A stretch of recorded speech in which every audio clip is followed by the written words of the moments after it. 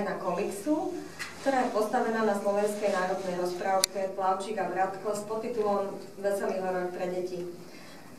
Na nešťastie nám chýba tretí spoluautor, tak ja vám poviem len krátko. K tomu výstavu sme koncipovali tak, aby bola vhodná pre malé i veľké deti, aby si tam v komiksovej podobe zhliadli túto známu rozprávku, a prvú časť máme urobenú ako náučnú, obrazovú, s malým ateliérom a druhú časť ako hernú.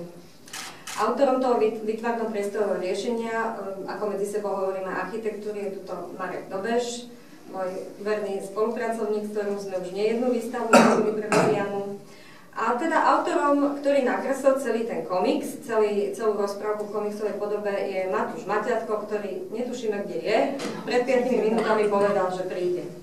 Uh, tak dúfajme, že dorazí. Dúfajme, že dorazí.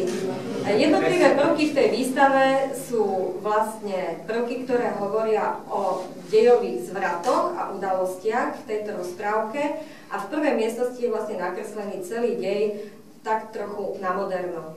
Súčasťou tejto výstavy je aj súťaž detí, ktoré sú vyzývané k tomu, aby nakreslili svoj príbeh, nemusí to byť rozprávka, ale svoj príbeh a najlepšia práca bude po skončení výstavy ocenená tak, že Matúš nakreslí ten príbeh v komiksovej podobe. E, zároveň pri tejto výstave sme pripravili workshopy a tvorivé dielne pre deti a určené sú dokonca aj pre stredoškolákov. Už máme na workshopy prihlásených stredoškolákov z odborných škôl, dokonca zo Žiliny, z Bratislavskej šupky a dokonca aj vysokoškoláci z VŠVU sa nejakí prihlásili. Sú e, priestory aj pre verejnosť a máme echo, že by sa prihlásila skupina učiteľiek výtvarnej výchovy.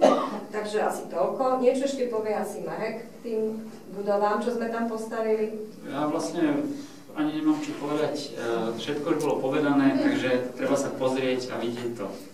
To bude hovoriť za všetko. Čo je vlastne veľmi prínosné preto, lebo dnešné deti už úplne inak vnímajú tie rozprávky a tie príbehy, ako kedysi, keď bola staršia generácia, alebo keď som bol ja malý a plus tomu používajú aj úplne iné výrazové prostriedky k tomu vnímaniu ako keby toho príbehu. Tak. Takže v tomto je to úplne, že, že super to, že vlastne to mohlo vzniknúť.